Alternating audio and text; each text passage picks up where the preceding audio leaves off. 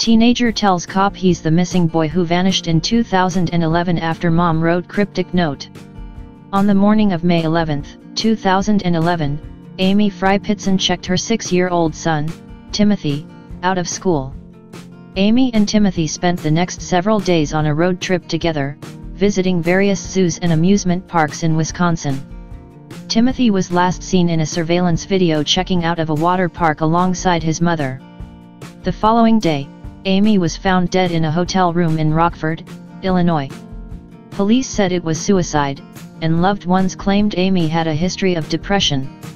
Amy also left a note behind, insisting her son was safe and in the care of someone who knew and loved him but she didn't provide any details as to Timmothy's whereabouts.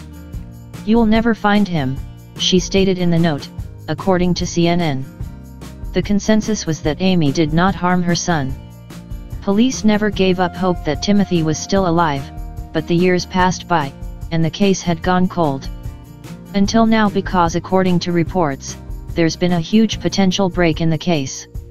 Nearly eight years after Timmothy was last seen, a woman named Sharon Hall noticed a fidgety teenage boy wandering around near her car in Kentucky. The boy, 14, said he'd been running for two hours and had a stomachache. When police officers arrived, he said his name was Timmothy Pitzen, and he had a mind-blowing story to tell. Asterisk update, it's been reported that the young man claiming to be Timmothy Pitzen is, in fact, not him. A DNA test confirmed the man is not Timmothy and now his grieving family is mourning the loss all over again.